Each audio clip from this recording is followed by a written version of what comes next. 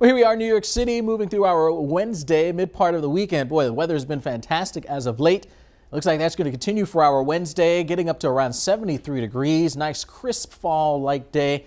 70 as you head towards the Morristown area and with White Plains topping out right at 70. So a gorgeous day. Now enjoy it because by the weekend, we'll start to notice some changes. A bit of a frontal boundary, cold front coming in from the west.